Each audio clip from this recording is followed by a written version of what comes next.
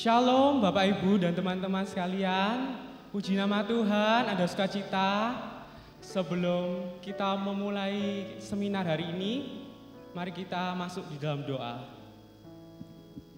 Allah Bapa yang Maha Pengasih, kami ucap syukur ya Bapak, kami bisa dikumpulkan di tempat ini dengan sukacita, dengan kekuatan yang baru ya Bapak. Sebentar uh, kami akan mengikuti serangkaian seminar hari ini. Tuhan berkati uh, dari awal hingga akhir acara ini. Terima kasih ya Tuhan. Amin.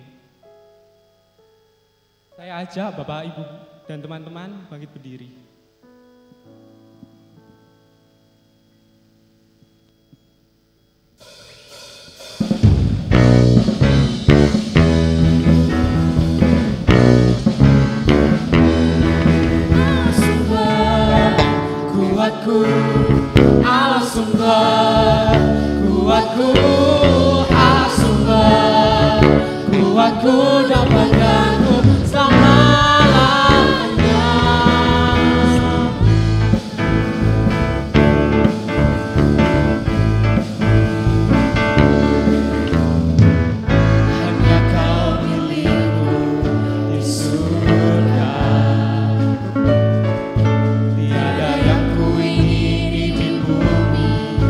Siapa? Hanya Tuhan Yesus,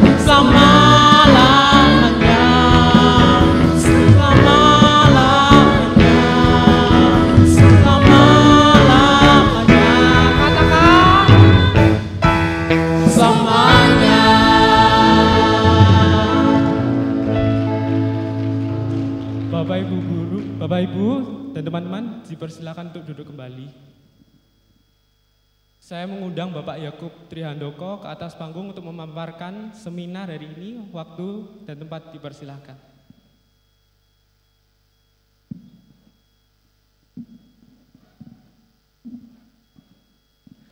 Ya, selamat siang semuanya. Ya, salam sejahtera dari Tuhan kita Yesus Kristus dan saya bersyukur kepada Tuhan sekali lagi bisa ada di tempat ini untuk menyampaikan seminar dan seminar kali ini temanya adalah Does Science Replace Religion? Dengan pengertian apakah ilmu pengetahuan dalam hal ini sains lebih ke arah ilmu alam walaupun kadangkala saya berbicara sains dalam arti yang lebih luas tapi fokusnya lebih ke arah natural sciences jadi saya ingin membela beberapa mata kuliah bidang studi disiplin ilmu yang sering kali disebut sebagai pseudo science gitu kan.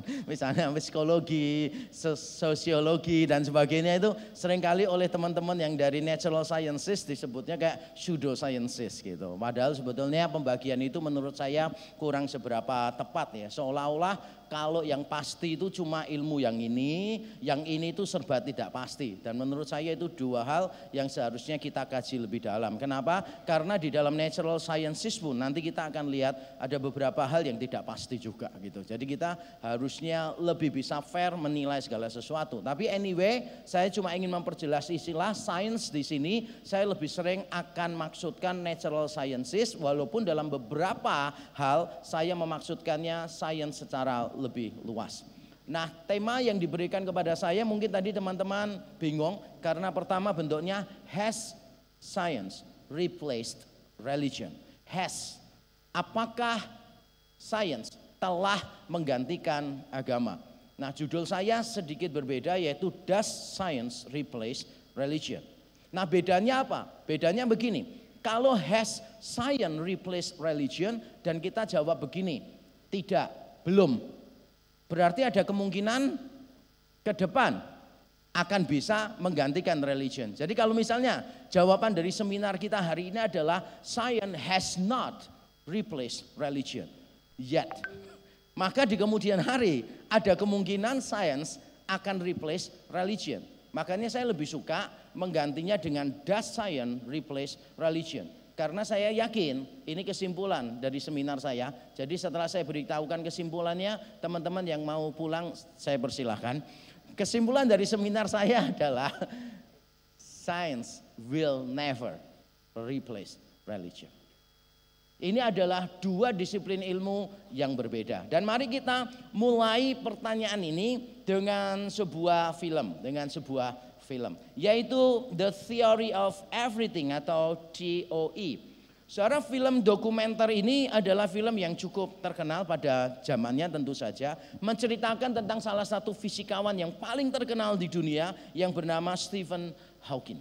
Nah, di dalam film ini nanti bisa ditonton sendiri ya bagaimana film dokumenterinya dan sebagainya. Yang saya mau soroti adalah salah satu perkataan di dalam film ini jadi film ini dalam salah satu bagian di penghujung filmnya ada kalimat begini.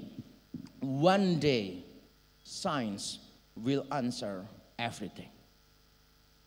Nanti suatu ketika ilmu pengetahuan akan menjawab segala sesuatu.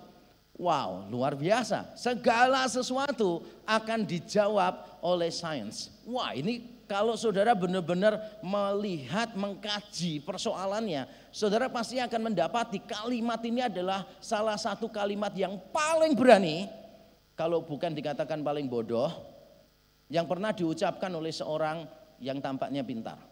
Jadi saya ulangi, kalimat ini kalau bukan menjadi kalimat yang paling berani, akan menjadi kalimat yang paling bodoh yang diucapkan oleh seorang yang sangat pintar.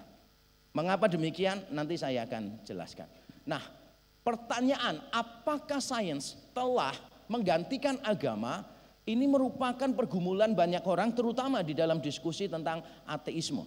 Berapa kali saya berbincang dengan anak-anak muda terutama yang mengatakan bahwa we don't need religion anymore. Kenapa? Karena sains sudah provide all the answers of life. Karena tidak butuh agama berarti tidak butuh Allah.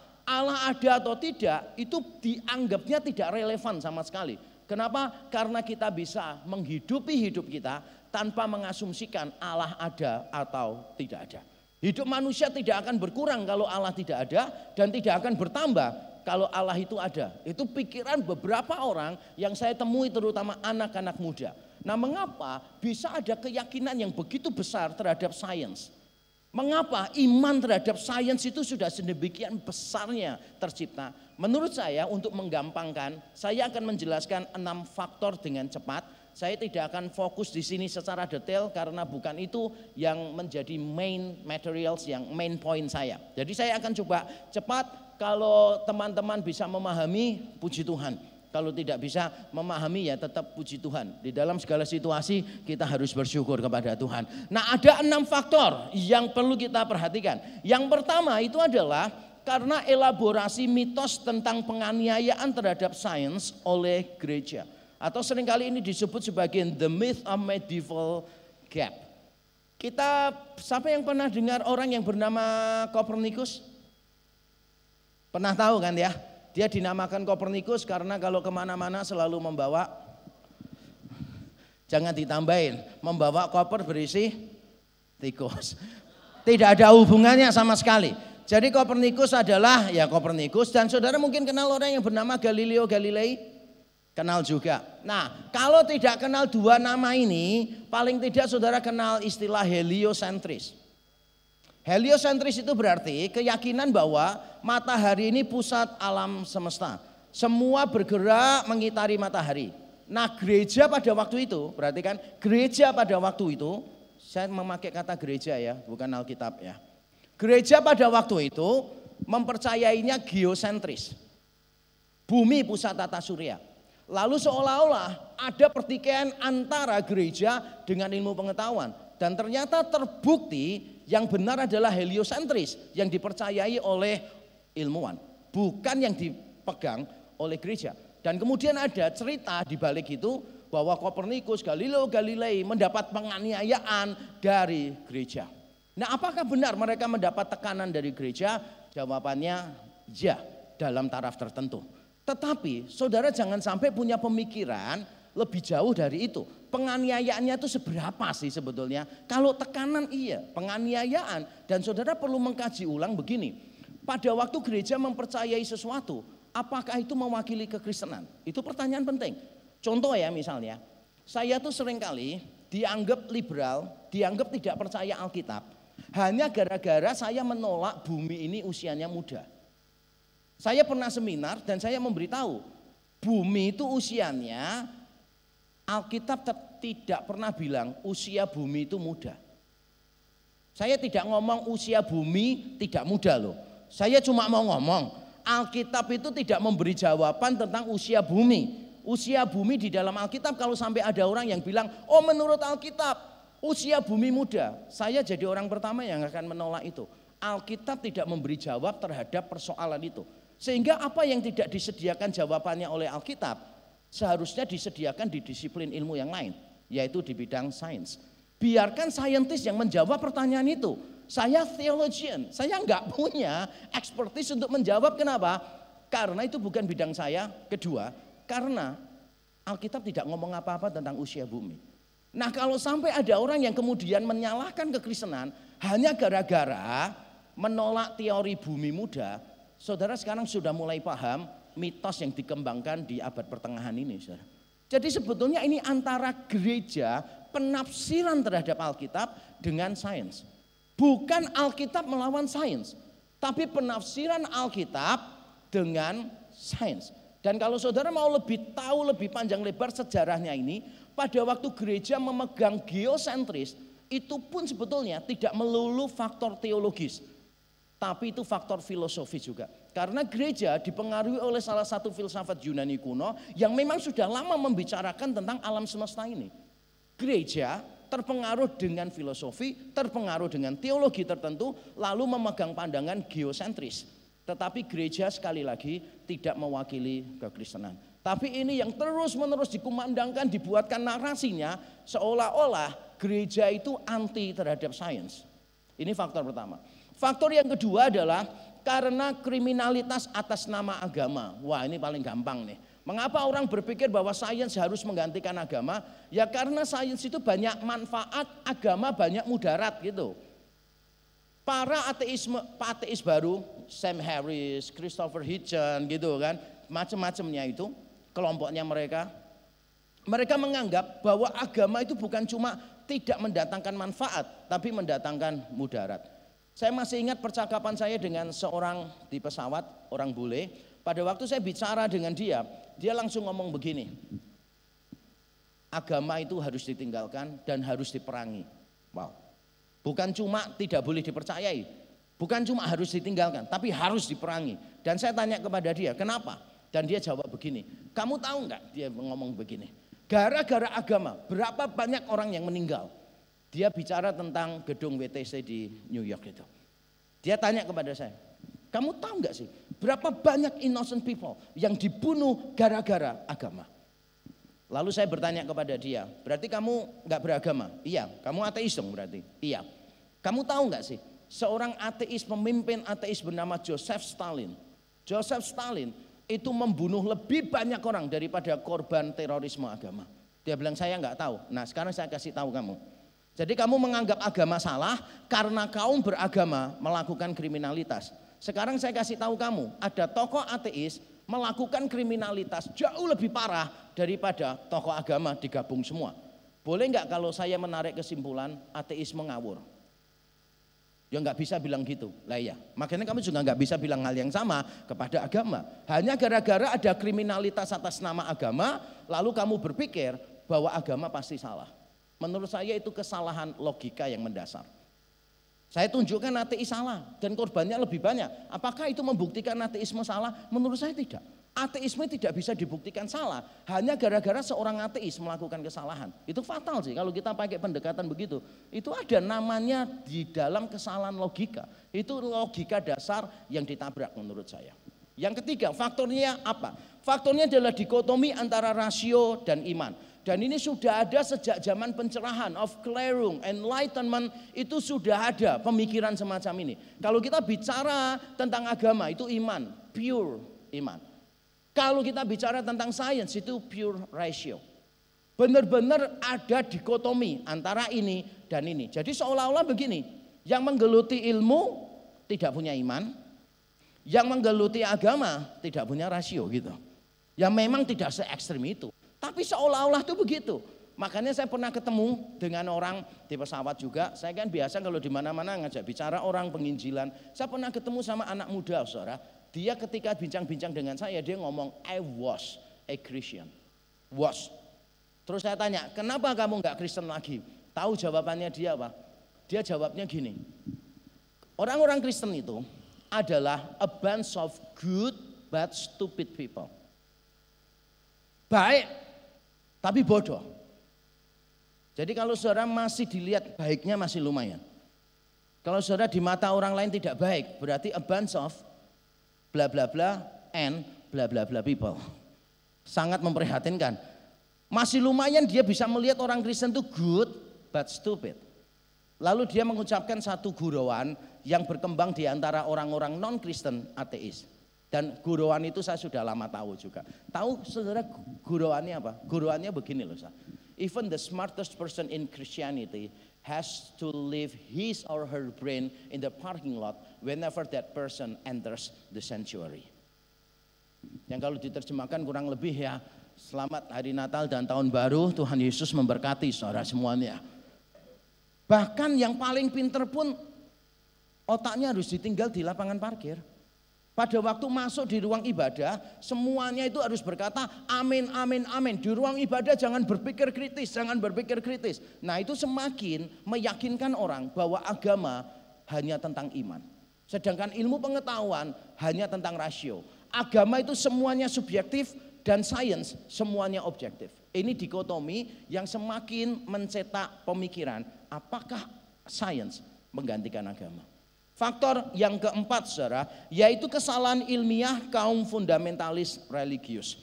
Kesalahan ilmiah kaum fundamentalis religius. Kita ini harus mengakui di antara kekristenan sendiri, saya nggak mau bicara agama lain, pasti ada juga. Di dalam kekristenan sendiri, saudara, ada orang-orang Kristen tertentu itu yang sangat fundamentalis, saudara. Yang membaca Alkitab itu tidak sesuai dengan genre, tidak sesuai dengan jenis sastranya Alkitab. Penafsirannya itu hurufiah, kaku, rigid, absolut gitu. Nah orang-orang yang semacam ini kalau membaca Alkitab itu pasti akan bertabrakan dengan sains. Karena mereka nggak menyadari tentang sifat literatur Alkitabnya itu seperti apa. Pokoknya ini ya ini, hurufiah ya hurufiah. Padahal maksudnya teks itu mungkin harus ditafsirkan bukan murni hurufiah. Contohnya misalnya begini ya, kesalahan kaum fundamentalis itu begini. Pernah Yosua berkata, Hai matahari berhentilah. Terus matahari berhenti. Wah orang Kristen langsung menafsirkan apa? Berarti matahari mengelilingi bumi. Masa penafsirannya harus begitu sih? Belum tentu. Itu bahasanya kan fenomenologis. Sama seperti misalnya, saudara pernah dengar lagu yang karangan Guru Soekarno Putra enggak? Walau ke ujung dunia pasti akan ku cari. Mau saya teruskan enggak satu album ini? Jadi lirik lagunya itu walau ke ujung dunia. Masa Guru Soekarno Putra nggak tahu kalau bumi ini bentuknya bulat. tahu lah. Tapi kita harus memahami kalimatnya di dalam konteksnya. Misalnya gini, matahari terbit di sebelah mana? Semuanya Jawa Timur. Apakah kita nggak tahu bahwa matahari itu diem, buminya yang memutar? Tahu, tapi ya tetap aja kita pakai bahasa itu. Karena itu bahasa sehari-hari. Ya jangan sampai ditafsirkan macam-macam. Itu mirip anak saya dulu, waktu saya sakit, pergi ke dokter internis, lalu dokternya ngomong gini, wah ini hatinya bermasalah. Lalu pulang di mobil, anak saya masih kecil tanya, papa ini punya masalah sama siapa? Kok sampai sakit hati? Hati nggak gitu deh maksudnya. Tapi ini contoh bagaimana orang Kristen itu sering kali membaca Alkitab itu terlalu hurufiah gitu. Tidak bisa menafsirkan sesuai jenis sastranya. Mau tahu satu kisah nyata? Saya kasih satu aja ya. Karena beberapa kali mirip semua saya alami. Saya tuh pernah khotbah didatangi orang. Orangnya ngomong gini, saya senang dengan khotbahnya Pak Yakub. Tapi menurut saya Pak Yakub itu terlalu banyak ilmu. Baca Alkitab tuh nggak perlu banyak ilmu Pak. Ibrani, Yunani, konteks kuno apa segala macam. Nggak perlu. Yang penting tuh roh kudus saja. Oh gitu maksudmu? Iya. Loh, menurut kamu Alkitab tuh jelas? Jelas, pakai roh kudus sudah jelas gitu kan. Terus saya tanya sama dia, coba kamu baca Yohanes 1 ayat 1 deh. Pada mulanya adalah firman. Firman itu adalah bersama-sama dengan Allah. Dan firman itu adalah Allah. Terus saya tanya sama dia, kenapa Yesus disebut firman di sini? Tahu jawabannya dia apa? Nah ini loh kesalahannya Pak Yakub. Banyak tanya. Udah terima aja. Roh Kudus bilang Yesus firman, ya Yesus firman. Jangan dipikir macam-macam, itu ngandalkan pikiran manusia. Sampai akhirnya saya kasih tes ini, sungguhan loh saudara, saya kasih tes. Saya bacakan salah satu Mazmur, Daud ngomong begini, aku menggenangi tempat tidurku dengan air mata. Terus saya tanya, menurut Bapak ini hurufiah enggak? Dia senyum. Nah ini loh kesalahannya Pak Yakub. Alkitab ngomong diterima saja. Benar itu. Daud itu menggenangi tempat tidurnya itu dengan air mata. Benar gitu, terima aja. Loh Pak, ini dengan air mata loh Pak, bukan dengan air seni loh ya. Kalau dengan air seni saya bisa paham Pak. Dan ini tempat tidur loh, bukan kolam renang plastik anak-anak itu loh. Terus dia ngomong, lah ini loh kesalahannya Pak Yakub. Alkitab itu dibaca aja, diterima dengan iman. Terakhir dia nggak bisa berkutik. Waktu saya kutipkan, saya suruh dia baca satu Mazmur. Daud berkata begini, semua tulangku lepas dari sendinya. Saya tanya, hurufiah enggak? Saya mau tunggu dia bilang hurufiah. Kalau dia bilang hurufiah, saya mau tanya, yang lanjutkan nulis siapa? Wong tulangnya udah lepas semua dari sendinya. Terus dia diam dan dia jawab, kalau ini tidak hurufiah katanya. Ngerti maksud saya? Banyak orang Kristen yang menurut saya memang menggenapi tadi itu. A bunch of good but stupid people. Kita harus akui, ada orang Kristen fundamentalis dan orang-orang yang semacam inilah yang akhirnya menjadi representasi dari kekristenan. Very unfortunate. Faktor berikutnya, yang kelima, yaitu saintisisme yang universal. Yang dimaksud dengan saintisisme saya terangkan cepat aja ini harusnya satu sesi khusus membahas saintisisme. Jadi saintisisme itu begini saudara. Bukan cuma senang dengan natural science, tapi menganggap natural science itu bisa menjawab segala sesuatu. Kalau mau tahu perkembangan saintisisme itu begini. Dulu orang berkata begini ya. Setiap ilmu punya domain of truth sendiri-sendiri. Setiap ilmu punya domain of truth sendiri-sendiri. Lalu berkembang lagi, saudara. Di antara domain of truth masing-masing ilmu ini, yang paling pasti, yang paling superior adalah natural science. Itulah sebabnya di awal saya bilang, jangan pernah mau psikologi, sosiologi dan sebagainya disebut sebagai pseudoscience. Jangan mau. Seolah-olah natural science itu ilmu pasti. Kita kan dulu ngomongnya gitu kan ya. Fisika ilmu pasti. Yang ekspertisnya fisika pasti ngerti. Banyak teori fisika juga salah akhirnya digantikan yang lain. Bener nggak sih? Siapa bilang pasti? Enggak, enggak ada yang pasti. 100% enggak ada yang pasti semacam itu. Nah, dari masing-masing punya domain of truth berkembang. Di antara semua domain of truth, natural science menawarkan opsi yang superior. Lalu berkembang lagi bahwa domain of truth di dalam natural science harus dipakai untuk mengukur semua bidang ilmu yang lain. Nah itu yang saya sebut scientisisme. Jadi natural science dipakai untuk mengukur segala sesuatu. Jadi segala sesuatu kalau benar harus dibuktikan menurut domain of truth natural science. Yaitu apa? Secara empiris. Jadi kalau mau ngomong benar harus dibuktikan secara empiris. Contoh saya pernah ditantang seorang muda yang pinter. Dia ngomong gini, Bapak percaya mujizat? Saya bilang, percaya dalam Alkitab ada mujizat. Dia bilang gini, tolong ulangi di depan mata saya. Kalau Bapak nggak bisa ngulangi, berarti mujizat tidak terjadi. Saya cuma senyum aja nggak debin orang-orang semacam ini. Dan saya ngomong gini, kamu suka sains ya? Iya. Menurut kamu alam semesta tercipta kenapa? Langsung dia jawab, karena Big Bang teori pak. Terus saya ngomong, tolong kasih tahu semua ilmuwan yang pegang Big Bang teori untuk mengulangi lagi sekali lagi prosesnya. Saya mau melihat alam semesta yang lain. Lo yang nggak bisa gitu pak. Lo katamu mujizat harus diulangi. Nah sekarang saya bukan bicara mujizat. Mujizat ini sejarah loh. Kamu minta mujizat diulangi, padahal ranahnya sejarah. Itu ngawur dong. Kamu percaya Alexander Agung pernah menguasai dunia kuno? Percaya, coba diulangi. Lo ngawur kan? Sekarang saya nggak mau tentang sejarah nih, empiris. Saya mau ilmu alammu, ilmu alam. Dari mana alam semesta ada? Itu kan ilmumu, ilmu alam. Iya, kamu kan kalau ilmu alam pakainya empiris kan? Iya, coba ulangi sekali lagi. Menurut saya, beberapa orang itu terlalu mengagung-agungkan saintisisme. Nanti saya akan berikan beberapa kutipan dan saudara jangan jangan tertipu ya. Scientisisme is not science. Scientisisme is an ideology. Jadi ini lebih ke arah ideologi, bukan masalah sains. Nanti akan lebih jelas setelah saya jelaskan bagian-bagian berikutnya. Yang keenam, faktornya adalah yang disebut naturalism. Naturalism. Misalnya seorang tokoh ateis yang bernama Carl Sagan, dia berkata begini, in the beginning, pada mulanya dan sekarang dan sampai akan datang adalah alam semesta. All that there is is the universe. Nature.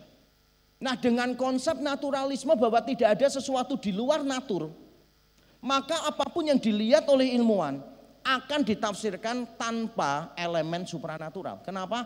Karena dari awal mereka punya komitmen yang ada cuma natur. Di luar natur tidak ada. Maka ketika melihat sesuatu yang sangat kompleks di alam semesta, mereka lebih memilih untuk mengeluarkan teori yang sangat complicated sekali, yang kemungkinan benarnya itu kecil sekali. Daripada mengatakan ada Tuhan masuk akal deh. Penjelasannya lebih simpel deh gitu. Ditolak. Kenapa? Karena memang nggak cocok dengan ideologinya. Nah izinkan saya menerangkan satu istilah supaya teman-teman paham. Yaitu silat Occam. Occam's razor. Silat Occam ini adalah istilah yang berkaitan dengan seorang teolog, seorang ilmuwan pada masa skolastisisme. Gak perlu tahu artinya apa, saya sebutkan supaya kelihatan pinter saja. Nah pada masa skolastisisme ini ada seorang ahli filsafat, ahli teologi yang bernama William Ockham. Dan dia mengajarkan satu prinsip yang dipegang di semua ilmu. Dia ngomong begini, penjelasan yang paling sederhana, yang tidak mengada-ngada, harus kita pegang sebagai penjelasan terbaik. Jangan menambah lapisan pemikiran yang tidak diperlukan. Jadi setiap kali saudara mendapati sebuah persoalan dan ada penjelasan yang paling masuk akal, yang paling simpel, maka saudara harus memilih itu daripada yang complicated. Bingung saya kasih ilustrasi. Saya bisa lihat dari wajahnya. Coba misalnya begini. Saudara masuk ke satu ruangan. Di ruangan itu ada bolpen di atas meja, ada kertas di situ, ada kopi, ada kue, ada laptop, ada buku-buku. AC-nya nyala. Penjelasan terbaiknya apa? Penjelasan yang paling rasional mengapa ada ini semua adalah ada seorang yang mau belajar. Itu penjelasan paling rasional tuh. Tapi bisa nggak saya jelaskan gini? Sebetulnya ya tempat itu tuh berantakan sebelumnya terjadi gempa bumi. Lalu hasil dari gempa bumi itu semuanya tertata rapi begini. Kalau saya tanya ya possible nggak? Jangan bilang nggak possible loh ya. Possible possible. Tapi kalau saya tanya probable nggak? Jawabannya tidak. Sama sekali tidak probable. Probabilitasnya zero. Tapi kalau saudara tanyanya logis atau tidak, logik, possible atau enggak, bukan logical, tapi possible atau enggak, segala sesuatu itu possible. Bingung lagi ilustrasinya, saya kasih tahu supaya bisa membedakan possibility dengan probability. Kalau misalnya ini ya, saya mau mendarat ke Juanda, saya lemparkan uang 100 ribu, possible enggak? Jatuhnya di auditorium UK Petra. Possible enggak? Possible enggak? Possible. Probable enggak? Yang jawab probable saya suruh lempar terus. Tiap hari saya suruh naik pesawat, saya suruh lempar 100 ribu seumur hidupnya. Kerjaannya cuma itu. Ya enggak probable lah. Tapi saintisisme itu memang gandengan erat dengan naturalisme gitu loh Sarah. Pokoknya segala sesuatu tidak ada di luar natur. Allah, makhluk, roh, semuanya dibuang di dalam ideologinya. Sehingga ketika melihat ini, mereka bagaimanapun akan menafsirkan secara natural. Dan mari sekarang kita lihat beberapa contohnya, lalu saya akan memberikan jawaban. Peter Atkins, ini salah satu ateis, dia berkata tentang kompetensi universal dari sains. Ini contoh saintisisme, bahwa sains itu punya kemampuan universal atas segala sesuatu. Mau apa pun bisa dijawab melalui ini. Satu contoh lagi dengan cepat. Stephen Hawking dalam bukunya The Grand Design, dia mengatakan demikian, philosophy has not kept up with modern developments in science, particularly physics. Scientists have become the bearers of the torch of discovery in our quest for knowledge. Bahkan dia memandang para filsuf, ahli filsafat itu sudah bukan sumber kebenaran lagi. Kenapa? Mereka nggak bisa mengikuti perkembangan sains. Jadi kalau mau tanya kebenaran, jangan tanya filsuf, apalagi tanya pendeta. Jangan. Tanya saintis. Karena saintis yang memegang obor pengetahuan, bukan yang lain. Ini kesombongan banget sih. Sombongnya luar biasa.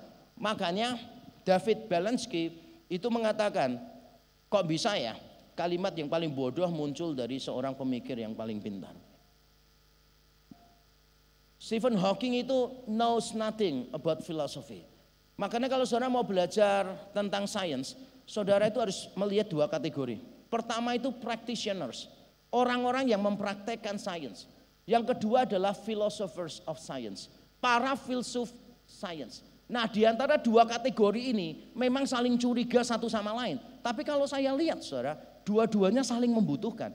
Philosophers of science membutuhkan practitioners of science. Tapi practitioners of science nggak mungkin bisa bergerak tanpa philosophy of science. Nanti akan lebih jelas pada waktu kita mencoba menganalisa. Nah ini dia arti dari saintisisme, ini dia alasan-alasan mengapa bisa muncul ide sains menggantikan agama. Nah sekarang saya akan masuk bagian yang penting, yang tadi benar-benar nggak penting, saudara nggak dengarkan dari tadi juga nggak apa-apa. Nah sekarang saya akan memberitahu inti saya.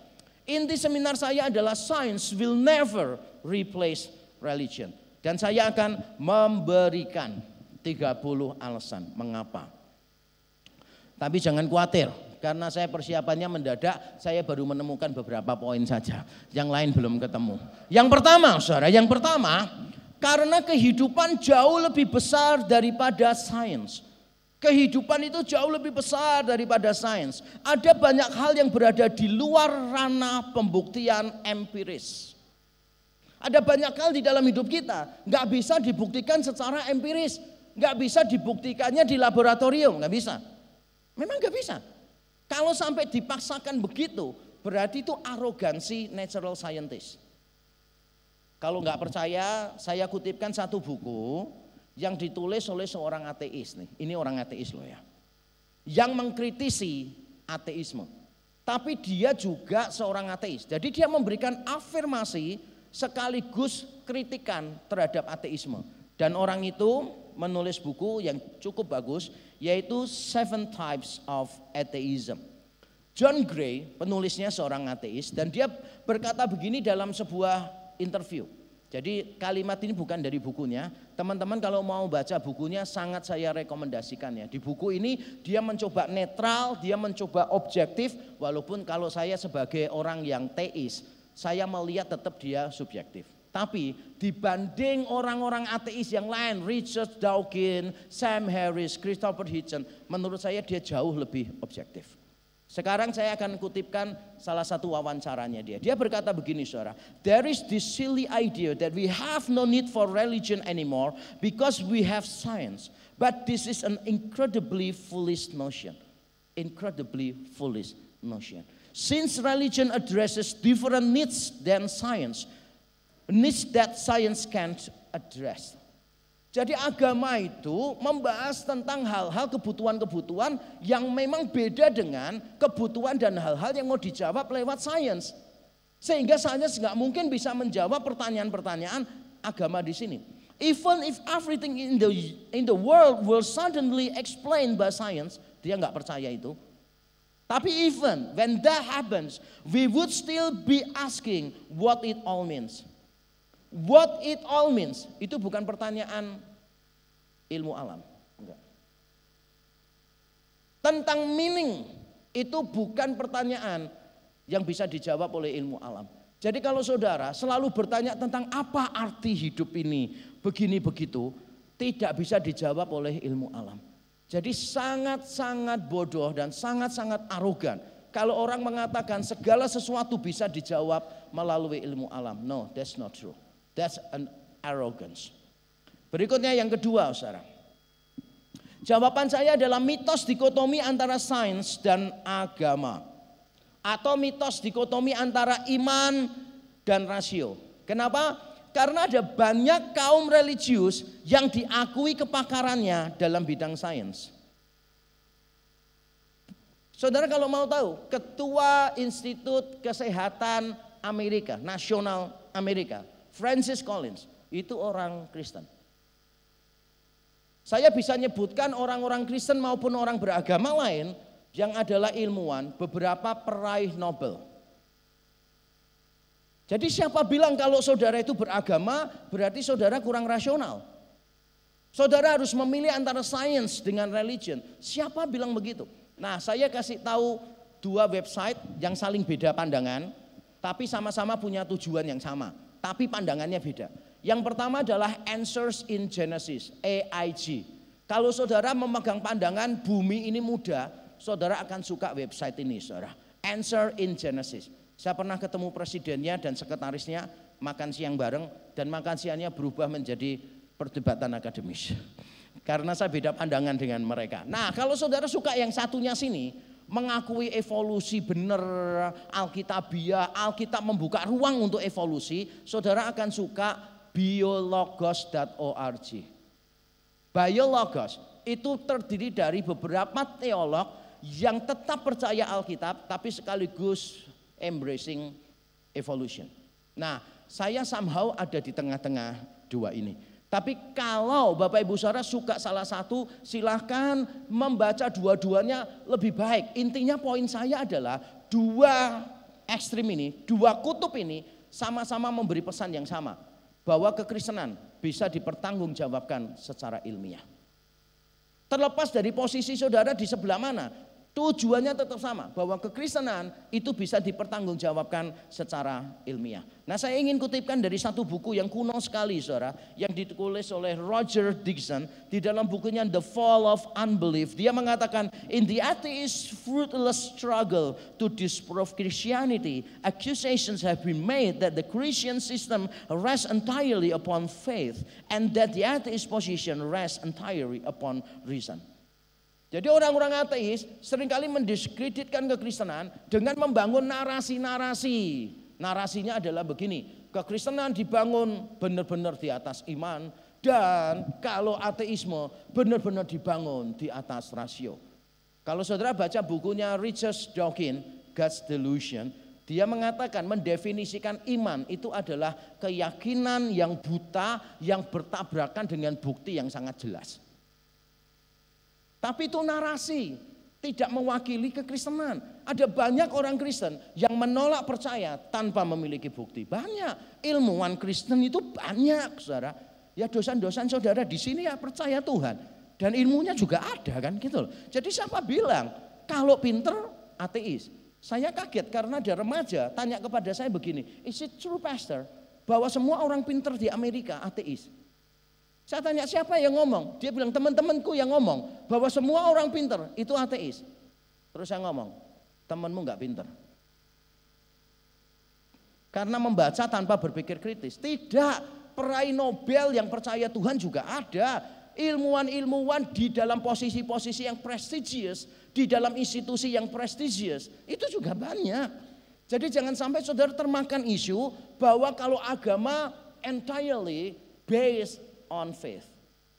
Kalau science, atheism dalam hal ini entirely based upon ratio. No, that's not right.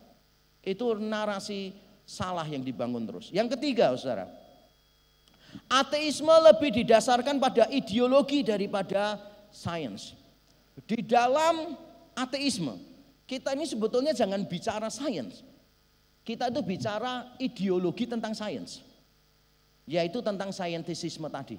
Saya coba jelaskan ya. Sains sangat terbatas dalam membuktikan keberadaan maupun ketidakberadaan Allah. Selebihnya adalah iman. Menurut saya sikap rendah hati perlu dipegang oleh orang-orang Kristen juga. Saya tidak menganggap begini.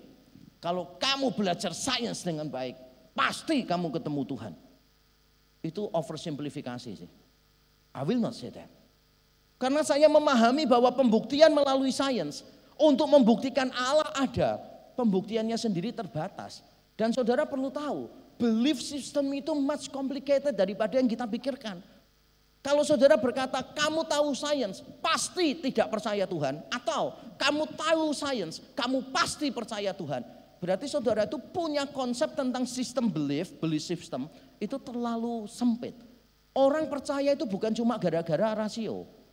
Orang percaya itu karena masalah hati, masalah sosial, masalah macam-macam ini yang akhirnya membentuk what kind of belief that we have. Pernah nggak sih ketemu orang yang sudah dipaparkan bukti begitu gamblang tetap tidak percaya? Pernah ketemu? Karena belief system itu lebih complicated daripada yang selama ini kita pikirkan. Makanya saya tidak berani mengklaim gini, Pokoknya kalau tahu sains, kamu tahu Allah ada. Tidak sih. Alkitab dengan jujur berkata begini. Di Ibrani 11 ayat 3. Alkitab ngomongnya begini. Dengan iman kita mengerti bahwa alam semesta diciptakan oleh Allah. Dengan iman kita mengerti. Memang gitu. Jangan malu untuk berkata begini. Saya punya alasan rasional untuk percaya.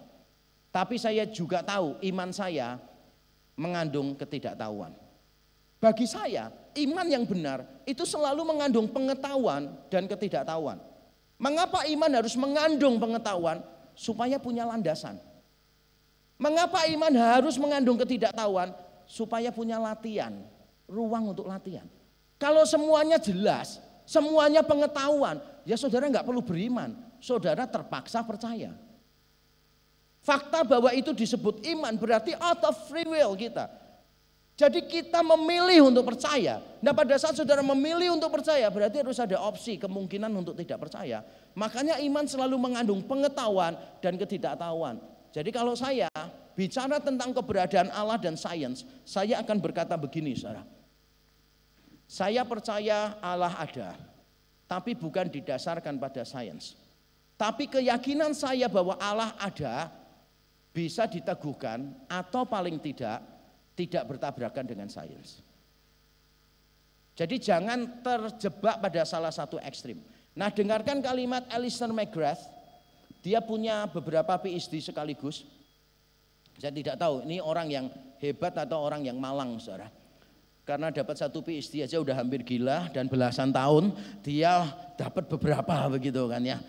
Ini luar biasa. Dan dia ngomong begini saudara. Most unbelieving scientists of my acquaintance are atheists on grounds other than their science. They bring those assumptions to their science rather than basing them on their science. Maksudnya apa sih? Ketika dia menulis buku merespon Richard Dawkins God Delusion, dia menulis buku yang provokatif juga tentang Dawkins Delusion. Nah, dia mengatakan begini, teman-temannya dia yang saintis itu ada sebagian ateis. Tapi dia ngomong, mereka ateis bukan karena sains. Mereka ateis karena punya komitmen ideologi tertentu, yaitu naturalisme. Ketika orang sudah punya ideologi tertentu, maka dia akan membawa ideologi itu, assumption itu ke dalam sains. Kalau bingung, saya kasih penjelasan lebih sederhana begini, teman-teman.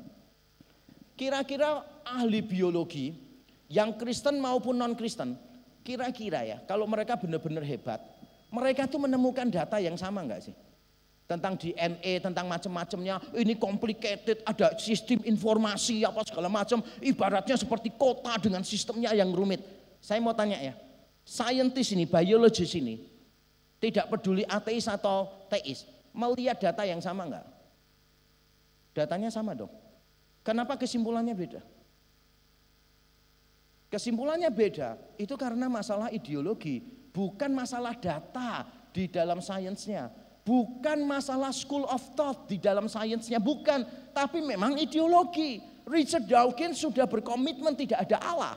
Menolak semua yang supranatural. Maka ketika dia menjelaskan tubuh manusia, dia seorang biologi yang terkenal, biologis. Dan dia berkata begini, tubuh manusia itu begitu complicated, begitu rapi, luar biasa. Loh dia akui loh. Tapi dia lebih memilih apa? Menawarkan teori yang sangat-sangat rumit sekali, yang probabilitasnya hampir zero daripada mengakui lebih simpel Allah menciptakan manusia. Ideologi seseorang dibawa masuk ke dalam keilmuannya. Yang keempat, saudara, jawaban saya ini, mengapa sains tidak mungkin menggantikan religion? Dalam sains ada elemen-elemen non-empiris yang fundamental. Non-empiris yang fundamental. Sains tidak mungkin bisa melepaskan diri dari filsafat misalnya. Jadi sangat salah kalau ada orang bilang begini, segala kebenaran harus diukur berdasarkan natural science. Itu bodoh sih saudara. Maafkan kata-kata yang saya pakai saudara. Menurut saya itu bodoh. Kenapa? Karena natural science didasarkan pada kebenaran yang lebih fundamental. Tanpa matematika, apakah ada natural science? Saya mau tanya ya, tanpa matematika bisa ada fisika? Enggak mungkin. Tanpa logika bisa ada biologi, bisa ada ilmu lain. Enggak ada. Kalau ada yang jawab, oh ilmu saya bisa. Saya lakukan tanpa logika. Saya akan bertepuk tangan untuk orang itu. Orang itu adalah orang yang paling tidak logis yang saya pernah temui. Dan saya harus hormat kepada orang ini karena limited edition di dunia. Enggak ada. Saudara enggak mungkin bisa melepaskan diri dari yang namanya logika. Logika itu bagian dari filsafat. Saudara nggak mungkin bisa melepaskan diri dari epistemologi. Itu bagian dari filsafat. How do you know that you know? Bagaimana antara keyakinanmu bisa dibuktikan sebagai sebuah kebenaran atau pengetahuan dalam istilah epistemologi. Ini mendasari semua sciences. Makanya sangat naif kalau ada seorang ahli fisika, entah itu Stephen Hawking atau yang lain, yang berkata begini, para filsuf itu sudah nggak bisa dijadikan patokan kebenaran. Sangat naif. Karena semua ilmu didasarkan pada filosofi. Saya bukan seorang filsuf by the way. Tapi saya perlu membela mereka. Karena menurut saya ketika orang berkata tidak butuh filosofi itu keliru. Bahkan teologi pun butuh filosofi. Sungguh. Kalau ada orang yang berkata saya teologian yang hebat. Dan saya tidak butuh filosofi. Pasti dia tidak hebat. Ngerti maksudnya? Soalnya ada tuh hamba Tuhan yang berani klaim gitu. Saya nggak mau tahu tentang filsafat ya. Saya cuma mau tahu tentang teologi. Filsafat itu sampah. Wow, keren banget. Karena engkau nggak mungkin bisa jadi teolog yang handal tanpa belajar filsafat. Nah, saya akan cari contoh ya. Jadi gini, saya tidak mungkin bisa melepaskan diri dari filsafat maupun dari moralitas. Benar salah di dalam sains coba ya. Contoh nih, saya kasih tahu saudara. Seandainya pada waktu pandemi ada seorang ilmuwan menemukan obat pandemi. Tapi karena dia itu merasa ditolak oleh komunitasnya sejak kecil, dia merasa abandoned. Lalu dia ngomong gini, ngapain aku kasih tahu orang lain? Biarin mati aja. Aku dulu juga sakit, gak ada yang peduli kok. Kira-kira ya, ilmuwan lain kalau sampai tahu itu, yang dilakukan ilmuwan lain apa kepada orang ini? Ada etika nggak sih di dalam sains? Ada etika di dalam sains ada. Sekarang saya tanya, kalau saudara bicara tentang etika di dalam sains, dasarnya empiris atau bukan? Etika itu dasarnya empiris atau bukan? Bukan. Etika dasarnya bukan hal-hal yang empiris. Maka ada banyak hal yang fundamental, yang intrinsik di dalam sains, yang sebetulnya di luar pembuktian secara empiris. Maka sangat naif kalau ada orang berkata, saudara, segala sesuatu harus bisa dibuktikan secara empiris. Kalimat ini saja tidak bisa dibuktikan secara empiris. Saya ulang sekali lagi ya. Jadi kalau sampai ada orang berkata begini, segala pernyataan kebenaran harus bisa dibuktikan secara empiris. Tanya sama yang ngomong itu. Bagaimana kamu secara empiris membuktikan kebenaran kalimatmu tadi? Enggak bisa.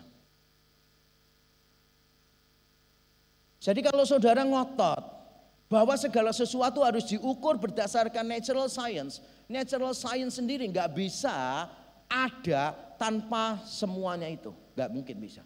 Saudara nggak mungkin bisa melakukan natural science dengan baik, dengan layak, dengan proper tanpa saudara tahu morality, tanpa saudara tahu beauty, tanpa saudara tahu honesty dan sebagainya. Nggak mungkin bisa, saudara nggak mungkin bisa. Di dalam natural science juga ada moralitas di situ.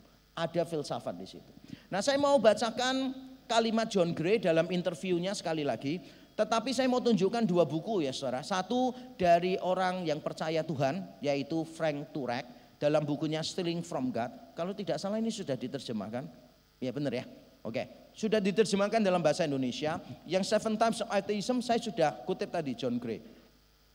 Dalam salah satu wawancara John Gray mengatakan sesuatu yang sebetulnya mirip sekali dengan yang dikatakan oleh Frank Turek. Dia ngomong begini, too many forms of atheism have functions like monotheism by another method. In other words, they have tried to fill the gaps in their view of the world, a world in which God has been dethroned, and then they just leave the rest of it as it is. Maksudnya John Gray itu begini, para ateis itu mencoba untuk menolak Tuhan. Tapi pada waktu bicara tentang hal-hal lain, mereka itu tanpa sadar mengasumsikan adanya Tuhan. Saya ulang sekali lagi ya. Mereka menolak Tuhan itu ada, tapi pada waktu membicarakan yang lain-lain, mereka sebetulnya mengasumsikan Tuhan itu ada. Contoh nih misalnya gini. Umat manusia ini punya tanggung jawab moral terhadap sesamanya. Itu mengasumsikan apa? Kalau memang manusia benar-benar hasil evolusi, tanpa Tuhan intervensi di situ, maka yang paling penting itu cuma survival dan itu disebutkan John Gray loh. Ini bukan kalimat saya. John Gray menyinggung tentang evolusi dan dia bilang begini, kalau evolusi benar dan dia percaya itu, maka manusia itu tidak bergerak berdasarkan morality. Manusia bergerak berdasarkan survival. Kalau kita berhasil mempertahankan diri supaya tidak punah, itu adalah kebajikan yang tertinggi. Yang ngomong gini bukan cuma John Gray, saudara. Norman Geisler sudah sering ngomong hal tentang ini. Rafi Zacharias, apologis Kristen yang lain sering mengungkapkan ini. Dan memang benar, saya setuju dengan ucapan John Gray ateis ini. Bahkan dia menantang begini, saya menunggu teman-teman saya ateis untuk membicarakan hal-hal lain tanpa mengasumsikan Allah ada atau tidak ada. Dia menantang begini, kalau tidak ada Allah, bagaimana kamu define morality? Ditantang oleh John Gray. Dia membayangkan bagaimana bentuk konkret dunia yang tanpa Allah itu. Kayak apa? Memungkinkan nggak untuk dipikirkan dunia tanpa Allah? Wah itu pertanyaan filosofis yang sangat dalam sekali. Dan yang terakhir saudara pandangan saya, mengapa sains tidak mungkin bisa menggantikan agama? Karena sains tidak dapat menjawab pergumulan eksistensial manusia. Banyak hal yang fundamental dan eksistensial dalam diri manusia tidak mungkin dijelaskan secara empiris. Misalnya saya sebut beberapa saja. Kesadaran tentang keindahan. Bagaimana saudara membuktikan secara empiris? Signifikan, the sense of significance. Saudara merasa diri saudara berharga misalnya. Atau saudara merasa, oh, hidupku ini bermakna. Apa yang aku lakukan ini meaningful. Sekarang saya tanya ya, Saudara itu selalu bergumul nggak dengan hal-hal semacam ini? Apakah hidupku ini meaningful? Apakah yang aku lakukan ini benar atau salah? Saudara tiap hari bergumul tentang itu nggak? Bergumul kan ya? Pertanyaan saya berikutnya, ilmu alam bisa jawab nggak? Bisa kasih patokan nggak ilmu alam untuk jawaban-jawaban itu? Nggak mungkin. Bagaimana kita memahami sense of significance di dalam hidup kita? Kan kita kan nggak mau ngomongnya begini toh ya. Saya ini cuma butiran debu di alam semesta. Kan kita nggak mau ngomong gitu kan? Kenapa? Karena kita merasa kayak kok insignificant banget sih hidupku. Saudara memberontak karena saudara tahu bahwa hidupmu harusnya signifikan. Saya pernah ketemu dengan orang yang mengatakan tidak ada meaning di dalam hidup. Annihilism. Saya pernah ketemu dan dia ngomong gini, menurut saya tidak ada meaning apa pun di dalam hidup ini. Kemudian saya jawab sama dia. Lalu untuk apa saya kasih respon terhadap kalimatmu ini? Ya nggak apa-apa, cuma dialog aja. Terus saya bilang, ya sudah, kalau gitu saya mau ngomong kalimatmu salah, kalimatmu naif, kalimatmu benar-benar tidak logis. Lalu dia mempertahankan bahwa benar-benar dalam hidup ini tidak ada sesuatu pun yang meaningful. Lalu ketika dia bersemangat membuktikan itu, saya tanya sama dia gini, kamu sadar nggak sih? Kamu tuh bersemangat banget membuktikan bahwa tidak ada sesuatu yang meaningful. Kenapa kamu sangat bersemangat coba? Karena kamu menganggap yang kamu sampaikan meaningful. Kalau yang kamu sampaikan tidak meaningful, untuk apa? Kamu terlalu bersemangat kayak begini, lebay menurut saya. Berarti yang kamu sampaikan itu meaningful, bener nggak? Ketika dia jawab, mestinya gitu. Omonganmu aja meaningful, apalagi hidupmu. Omonganmu aja meaningful, apalagi alam semesta. Jadi kita harus mencari meaning karena itulah hakikat kita manusia. Kita selalu bertanya, bagaimana kita bisa feel meaningful, significant. Dan saya akan tutup materi saya dengan kalimat ini. Sains bukan hanya belum sepakat tentang bagaimana bisa ada keberadaan dari ketidakadaan. Bagaimana garis bawahi ya. Tetapi sains tampaknya tidak akan pernah bisa menjawab pertanyaan mengapa ada sesuatu dan bukannya tidak ada. Maksud saya begini. Bagaimana alam semesta ini ada? Sampai sekarang para ilmuwan belum sepakat. Kalau saudara ngomong ada satu teori yang dipegang semua ilmuwan, maka saudara belum belajar sains baik-baik. Tapi kalau saudara mengatakan ada teori yang dominan dipegang sekarang, benar, saya setuju.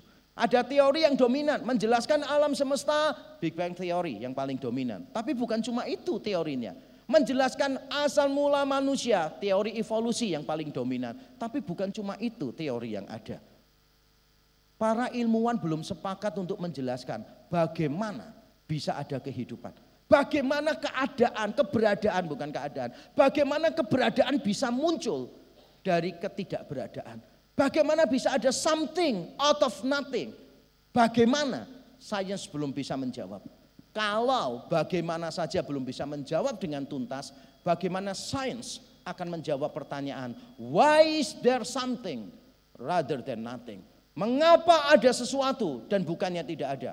Karena menurut saya lebih gampang nothing tetap jadi nothing daripada nothing jadi something. Apalagi nothing jadi someone. Saya akan mengajak saudara berpetualang ke belakang sebentar. Bayangkan tidak ada apa pun, bahkan tidak ada Tuhan Benar-benar nothing. Lebih gampang nothing, stays nothing atau nothing berubah jadi something. Coba secara logis, menurut pengalaman kita sehari-hari. Lebih mudah nothing stays nothing atau nothing becomes something. Nothing stays nothing. Lebih gampang, lebih sederhana. Kalau sampai nothing becomes something, there must be something rather than nothing. Yang bisa membuat another something. Semoga tidak mempersulit hidup saudara yang sudah cukup sulit. Nothing stays nothing itu lebih mudah daripada nothing becomes something. Karena kalau nothing becomes something, that nothing, the first nothing needs something. Untuk membuat another something. Sangat rumit, sangat tidak logis. Jauh lebih masuk akal kalau saudara percaya pada mulanya cuma ada Allah. Dan Allah ini menciptakan segala sesuatu dengan teratur dan keteraturannya dibuktikan melalui ilmu pengetahuan dan karena ada keteraturan berarti ada tujuan Dan di antara keteraturan itu ada manusia yang tubuhnya, DNA, sistem DNA-nya juga sangat teratur. Dan itu membuktikan dalam diri setiap manusia juga ada tujuan. Dan kalau manusia itu ditebus dengan darah yang mahal di atas kayu salib, itu semakin mempertegas bahwa keberadaanmu di dunia punya tujuan. Entah engkau lahir tidak diinginkan oleh kedua orang tuamu. Atau engkau lahir sebagai sebuah peristiwa yang kecelakaan, kebetulan, apa pun namanya itu. Dalam dirimu ada tujuan. Dan kalau engkau ditebus dengan darah yang mahal. Tujuan itu adalah tujuan yang indah. Dan itulah yang memberi meaning di dalam hidupmu. Maka saya mengundang saudara. Untuk menyerahkan rasiomu, bukan cuma hatimu tapi serahkan rasiomu seluruh keberadaanmu di depan salib Kristus. Karena hanya dengan embracing His love, your life can be meaningful. Tanpa kasih Kristus di dalam hidupmu, whatever you do is gonna be meaningless. Karena yang bisa memenuhi pencarian terbesar di dalam hatimu, keberhargaan yang sesungguhnya cuma Kristus saja. Kalau saudara mendapatkan, mengharapkan penerimaan dari orang, selalu saudara akan dituntut. Harus punya ini, harus mencapai ini, baru diterima. Dan itu sebetulnya bukan penerimaan, itu tuntutan. Penerimaan seharusnya tanpa syarat. Dan penerimaan semacam itulah yang diberikan Kristus kepada saudara. Tidak peduli keluargamu seperti apa, masa lalumu sekelam apa, tidak peduli dosamu seabrek-abrek seperti apa. Sekali engkau datang kepada Kristus, berserah diri. Kristus menerima engkau apa adanya. Mari kita tunduk kepala kita berdoa. Terima kasih Tuhan untuk materi yang disampaikan. Kami berdoa kiranya Tuhan beranugerah kepada setiap orang yang mendengarkan materi ini. Supaya pada akhirnya mereka menundukkan rasio mereka di bawah kebenaran firman Tuhan. Supaya mereka bisa melihat kebenaran firman Tuhan secara rasional. Kami berdoa semoga setiap kami Mengasihi Tuhan bukan cuma dengan hati kami, tapi mengasihi dengan seluruh akal budi kami. Seluruh hidup kami, kami berikan untuk mengasihi Tuhan. Dan tolonglah baik dosen di tempat ini, staf maupun mahasiswa. Supaya kami bersungguh-sungguh menggeluti keilmuan kami. Apa pun bidang studi kami, kami menggelutinya sungguh-sungguh. Karena kami tahu kalau kami menafsirkan alam semesta dengan benar, kami akan menemukan kebenaran yang sama yang kami temukan di dalam firman Tuhan. Tuhan tolonglah kami. Di dalam nama Tuhan Yesus kami berdoa. Amin. Tuhan memberkati kita.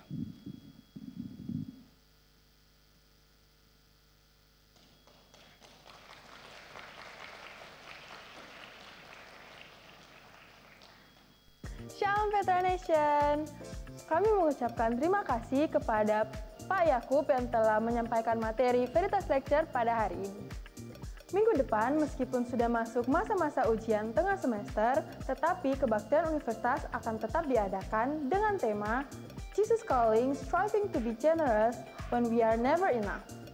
Kita sebagai manusia sering kali mudah merasa tidak puas dengan kehidupan kita baik secara jasmani maupun rohani. Tetapi di sisi lain, kita juga tidak boleh merasa puas dengan kehidupan kita yang biasa-biasa saja. Hmm, kalau seperti itu, apa yang harus kita lakukan agar bisa mengambil keputusan yang tepat? Bingung kan? Agar bisa lebih mengetahui dan memahami, yuk sama-sama ikuti kebaktian universitas minggu depan. Uh, saya undang Bapak Rektor untuk menyampaikan pesan.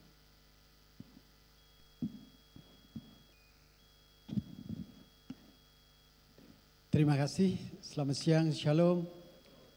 Ya.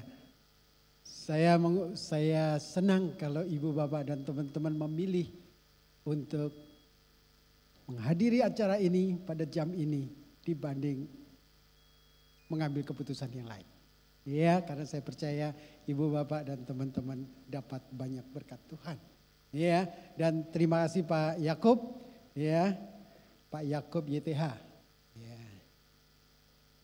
Yakub Trihandoko, ya. Pak Yakub yang terhormat ya, yang sudah juga mau dipakai Tuhan untuk menyampaikan kebenaran firman-Nya buat kita semua siang hari ini. Saya dengar Pak Yakub sedang tidak terlalu sehat, tapi demi ibu bapak dan kita semua dan juga kemuliaan Tuhan Pak Yakub mau tetap datang ke sini. Ya, dan Saya pikir penutupnya tadi yang luar biasa dan itu menolong kita semua ya. Ya, kita semua berharga. Tidak ada yang kecelakaan. Kita semua orang lain mengatakan apa pun tapi kita diciptakan dengan luar biasa oleh Tuhan dengan satu maksud yang luar biasa. Oke, Ibu Bapak dan teman-teman khususnya untuk teman-teman mahasiswa cannot wait for next week ya. Ya. Ya, selamat menjalani UTS ya.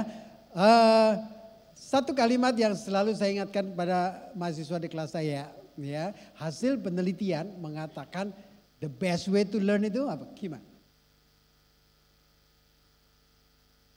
The best way to learn Ya ini hasil penelitian ya. The best way to learn is to teach others. To teach others.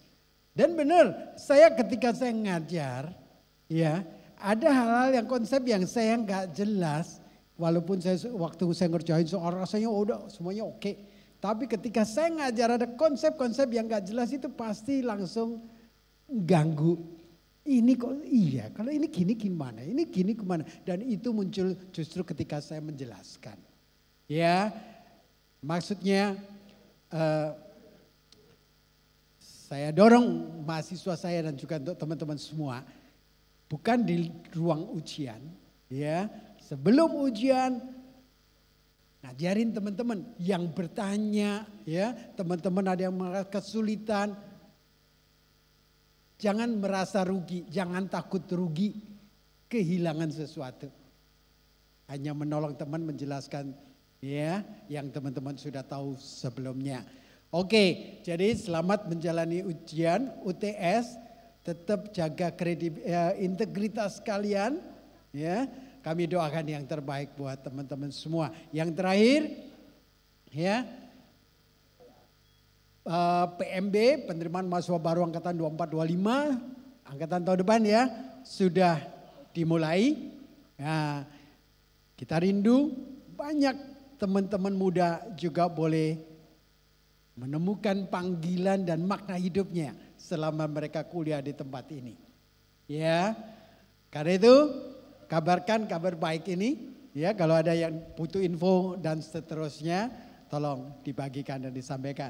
Terima kasih untuk semua yang sudah melayani siang hari ini. Ya, Tuhan berkati.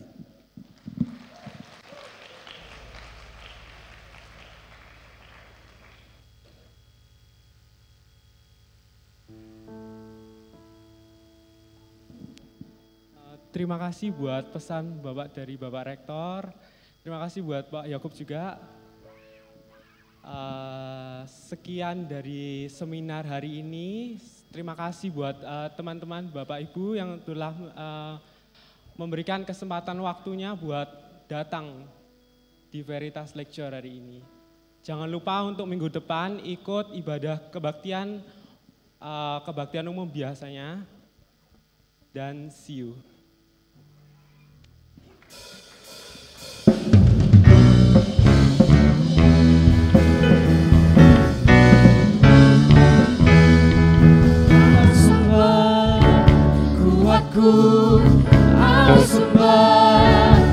Kuatku Allah sumber kuatku dan bagai